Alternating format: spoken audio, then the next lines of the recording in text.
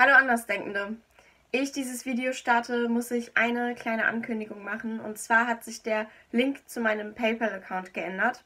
Ich äh, mache das ja so, dass ich keine Werbung bei meinen Videos schalte und mich ausschließlich auf Spenden verlasse. Ja, und eigener Fahrlässigkeit sei Dank wurde jetzt gerade mein Konto gesperrt und weil es nicht so leicht ist, PayPal zu erreichen und zu kontaktieren, ähm, habe ich vorerst überhaupt keinen Zugriff auf mein Konto. Jetzt habe ich provisorisch eben dieses alternative Konto eröffnet. Ähm, nur, dass das klar ist, das Geld, das gespendet wurde, ist selbstverständlich nicht weg. Ich habe nur, wie gesagt, gerade keinen Zugriff darauf und ähm, weil das meine Einnahmequelle gerade ist, um mein Fernstudium zu finanzieren, äh, habe ich mir jetzt eben dieses Zweitkonto erst einmal erstellt. Nur, dass es da jetzt keine Verwirrung gibt, ähm, dass ich gesperrt wurde auf PayPal aus Zensurgründen oder so. Das ist Bislang zum Glück nicht der Fall. Vielen Dank für euer Verständnis und für eure Spenden.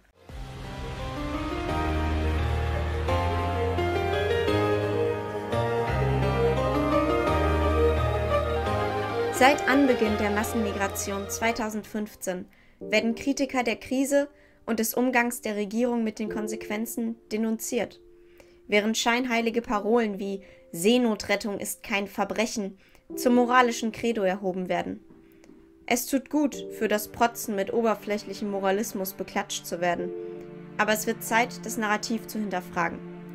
Kritiker sind keine Unmenschen, Rassisten, Egoisten.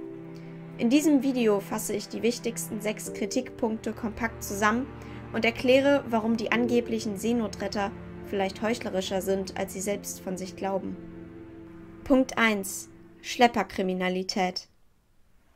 Statt auf den perfiden Untergrundsmarkt der Schlepperkriminalität aufmerksam zu machen, sprechen die Medien in der Regel von notwendiger Seenotrettung. Dabei wird ein inzwischen weit vernetztes und hochkomplexes Geschäftsmodell glorifiziert, das in Wirklichkeit mit dem Leben von Menschen spielt. Die selbsternannten Seenotretter halten das Geschäft damit am Laufen und schaffen die Notsituation selbst, weil die Verantwortlichen selbstverständlich erkennen, dass es funktioniert. Damit wird Seenotrettung bzw. Schlepperkriminalität zu einem Fass oder eher gesagt einem Boot ohne Boden. Nur indem wir die Schlepper zur Rechenschaft ziehen und dem Ganzen konsequent einen Riegel vorschieben, können wir das Fiasko beenden. Inzwischen kursiert überall der Satz, Seenotrettung ist kein Verbrechen. Ich setze dem Folgendes entgegen. Seenotrettung subventioniert Verbrechen. Punkt 2. Kosten. Wenn kritisiert wird, dass durch die Migrationskrise natürlich auch immense Kosten anfallen, dann wird uns in der Regel vorgeworfen, dass wir einfach nur komplett egoistisch sind. Aber das, diese Kritik geht über egoistische Motive hinaus. Fehlende Grenzsicherung in Kombination mit einem hochgradig umverteilenden Wohlfahrtsstaat ist das eigentliche Problem, denn es garantiert den wirtschaftlichen Ruin eines Landes. Und dann ist auch keine Migration mehr möglich. Je unqualifizierter ein Migrant ist, desto höher ist sein Bestreben natürlich, in einem Wohlfahrtsstaat aufgenommen zu werden, da er genau weiß, dass er ansonsten wenig Chancen hat, sich ein paradiesisches Leben äh, zu ermöglichen, wie er es sich eben von Europa erhofft hat. Werbung für den romantisch fürsorglichen Sozialstaat wird damit zu einem Freipass für ein komplettes Desinteresse an der eigenen Integration und stattdessen Faulheit. Kosten fallen außerdem nicht nur kurzfristig unmittelbar nach der Einreise an, sondern auch langfristig, aber diese werden überhaupt nicht mehr berücksichtigt. Wir müssen dabei Folgendes bedenken. Generelle Sozialleistungen, Flüchtlingsbetreuung, Versorgung, Unterkunft, bürokratische Maßnahmen, Sonderleistungen zu Integrationszwecken, gescheiterte Integrationsversuche mit finanziellen Konsequenzen, dann Familiennachzug, All diese Kosten führen dazu, dass wir unser eigenes Land komplett vernachlässigen müssen. Wegen der großen finanziellen Belastung werden Probleme im Land vollkommen ignoriert oder können überhaupt nicht mehr finanziert werden. Somit leidet unsere Infrastruktur und Schulen können ihrem Bildungsauftrag nicht mehr nachkommen.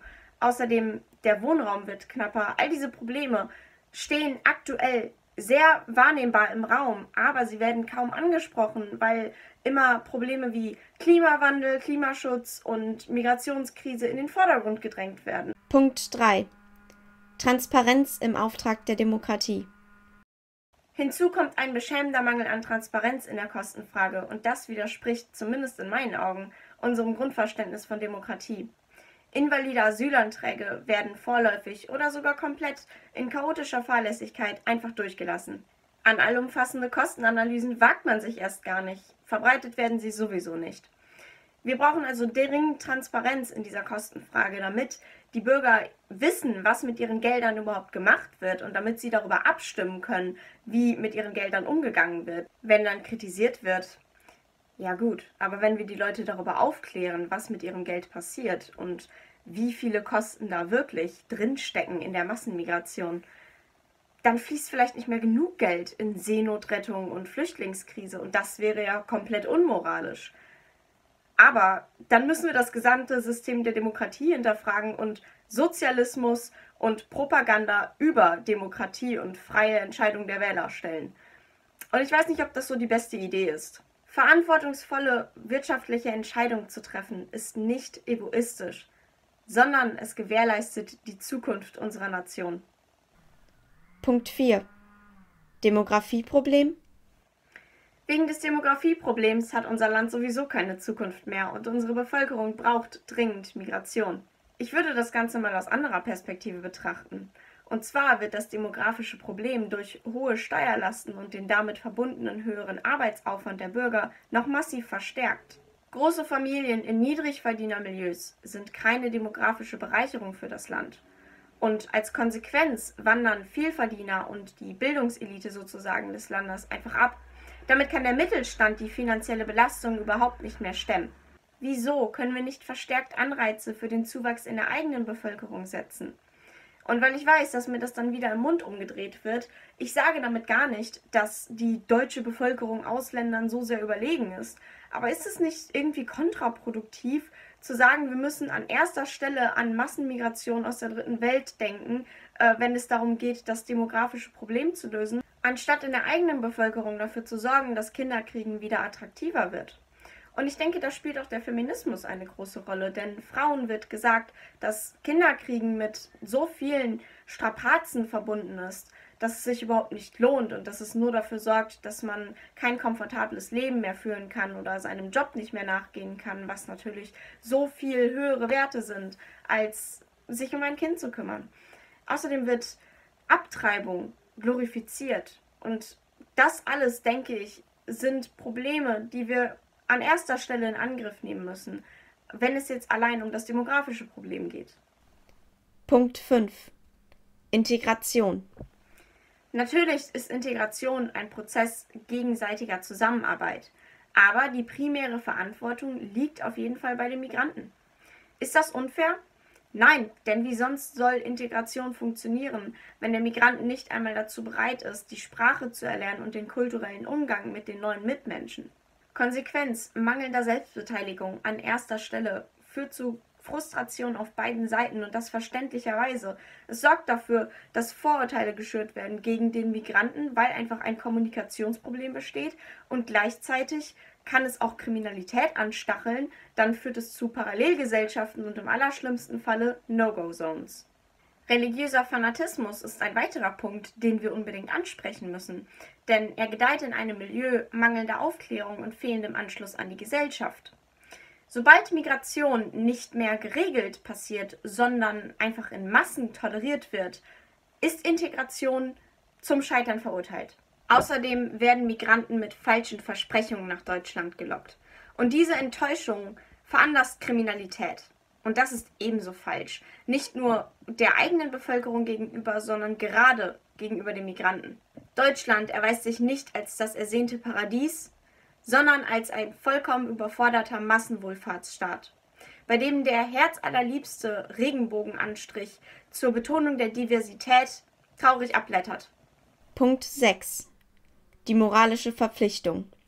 Haben wir nicht deren Länder ruiniert? Unkontrollierte Massenmigration ist keine humanitäre Glanzleistung. Die Bevölkerungsexplosion in Afrika wird subventioniert. Die wirtschaftlichen Probleme der Herkunftsländer werden potenziert, weil Leistungsträger abgezogen werden. Das, was sich wieder aufbauen und reformieren ließe, lassen Verherrlicher der Massenmigration wortwörtlich verrotten. Mit dem Verschwinden ambitionierter Bevölkerungsgruppen verschwindet der gesamte Lebens- und Entwicklungsgeist eines Landes. Wieso investieren wir nicht in Hilfe vor Ort, wo Hilfe zigfach effizienter genutzt werden könnte? Das gesamte riesige Integrationshindernis, Sprachbarrieren etc. fallen weg. Unterstützung im Herkunftsland ist wesentlich günstiger. Reine Finanzspritzen aber sind nicht die Lösung. Was es braucht, sind sinnvolle Bildungs- und Gesundheitssysteme, Aufklärung, bessere Infrastruktur. Die Länder brauchen ihre Fachkräfte. Und wem eben dieser intrinsische Tatendrang zum Ermöglichen eines besseren Lebens für sich selbst fehlt, der hat auch in unserem Land nicht zu suchen. Der große Schuldkomplex ist die Waffe zu unserer Selbstzerstörung. Und ich lasse mich nicht dafür denunzieren, dass ich Migration lieber rational angehen will. Ich hoffe, ihr könnt mit dieser Sammlung an Argumenten ebenfalls etwas anfangen und das negative Feindbild, das um Kritiker wie uns konstruiert wird, zerstören.